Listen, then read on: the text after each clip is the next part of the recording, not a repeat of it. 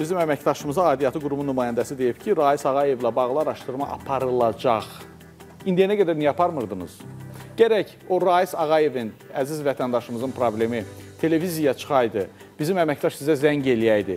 Sonra da siz cavab verəydiniz ki, ə, ə, araşdırma aparılacaq. Mən inanmıram ki, Rais Ağayev və onun ailə üzvləri aidiyyatı quruma müraciət etməsin. Onlar aidiyyatı quruma müraciət eləyiblər. Sadəcə aidiyyatı qurumda oturan, o rahat insan kimdirsə, o e, vətəndaşa xidmət eləməyən kimdirsə, onların o müraciətini göz ardı eləyib, biraz kənara atıb, əlinlə belə eləyib. İndi də bizim əməkdaşı televiziyanı görüb deyir ki, ə, ə, araşdırma aparılacaq. Qardaş, problemlər televiziyaya çıxmamışa qədər siz araşdırma aparmalısınız.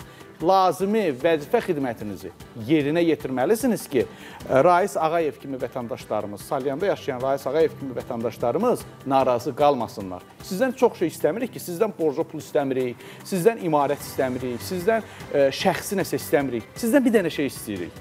Vəzifənizi normal icra eləyib insanlara, vətəndaşlara xidmət göstərin. Bunu da eləyə bilmirsinizsə, zəhmət olmasa o belə plastik e, döşəyə oxşar kreslolarınız var ha, belə yoğun, sizi yaxşı tutur. Oradan durun çıxın gedin.